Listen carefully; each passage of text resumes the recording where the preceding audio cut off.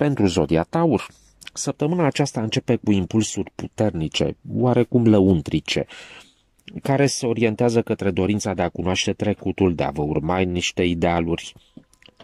uh, să dă atenție muncii, activităților care au fost începute. Există influențe care pot să fie legate de o călătorie lungă sau de cunoaștere aprofundată,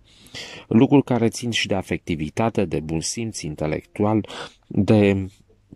spirit deschis, de inteligență. Urmăriți relațiile care sunt uh, sănătoase și bazate pe foarte multă inteligență. Este păstrat, uh, păstrat uh, spiritul rațional, creativitatea, emoțiile sunt puternice, generozitatea se poate manifesta foarte ușor și relațiile pot fi mai ușor marcate de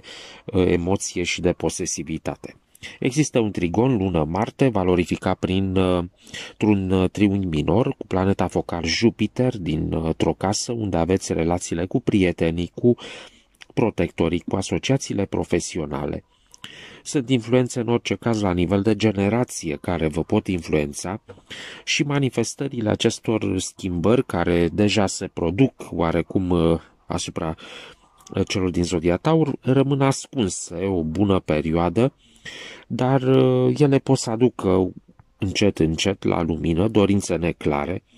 tendința de revoltă socială, tendința de cunoaștere filozofică, religioasă, uh, cunoașterea aprofundată, poate atracția către călătorii lungi. Aici există o bază pe comunicare, relații orientate practic, uh, reducerea la maxima Uh,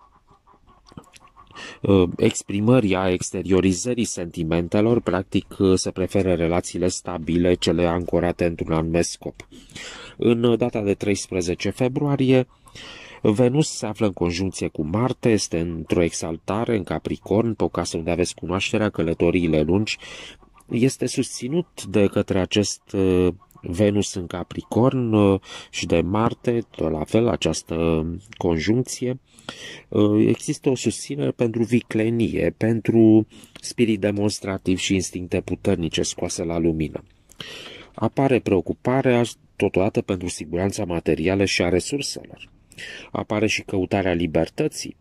mai ales pentru cei din Zodia Taur, aceasta este un scop eliberarea de atașamente materiale este descoperit mai ușor, ă, zona spirituală este descoperită mai ușor în această perioadă. Uranus se află în trigon cu Marte și avem aspecte benefice legate de cunoaștere, călătorii lungi, personalitate, originalitate, dorința de afirmare, independență. Apare